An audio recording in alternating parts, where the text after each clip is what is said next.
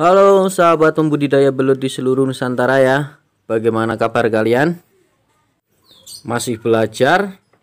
Atau sedang berusaha? Atau sudah menyerah?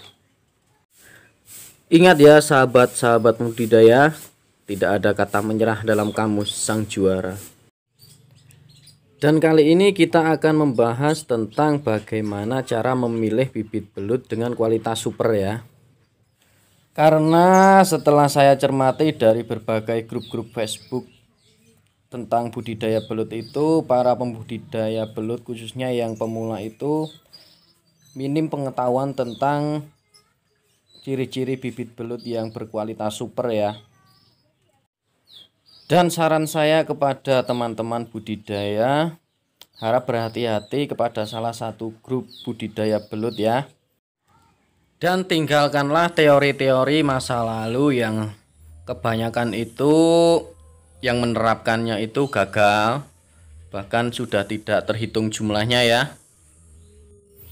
Lebih jelilah untuk memilih bahan-bahan untuk membuat media untuk kolam belut. Jadi kalau bisa itu memilih media itu yang seminim mungkin untuk bisa menghasilkan biogas karena biogas itu sangat berbahaya bagi belut. Kita bisa ambil contoh logika dari teori-teori terdahulu ya, yaitu dengan memakai jerami kohe sapi dan gedebok pisang lalu ditimbun dengan lumpur. Itu biogasnya itu saya pastikan tidak bisa keluar ya.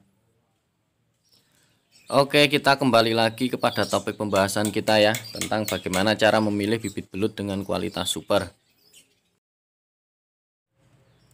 Pertama adalah keseragaman jenis belut ya. Keseragaman jenis belut itu bisa dilihat dari ukuran belutnya, dari warna-warna belutnya. Itu kita bisa bedakan. Untuk masalah ukuran, asalkan perbedaan ukurannya itu tidak terlalu signifikan ya, tidak terlalu jauh, itu tidak bermasalah untuk kualitas bibitnya. Bila perbedaannya itu sangat signifikan, baik warna, jenis, dan ukuran itu terlalu banyak yang beda, bisa dipastikan kemungkinan besar bibit-bibit itu adalah bibit campuran atau bibit setruman ya. Dan ciri-ciri yang kedua adalah di bagian ekornya itu, yang bagian atas itu ada garis kuningnya ya. Ciri-ciri yang satu ini masih jarang sekali diketahui oleh kebanyakan orang ya. Bila dari 50% dari jumlah bibit yang teman-teman beli itu mempunyai ciri-ciri yang di atasnya ada garis kuningnya itu bisa dipastikan Sebagian besar bibit itu adalah bibit hasil budidaya yang kualitasnya super ya.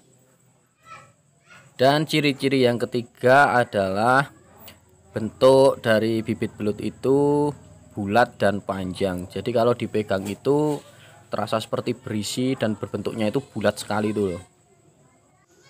Pemilihan bibit belut itu sangat berpengaruh terhadap sukses atau tidaknya kita dalam berbudidaya belut.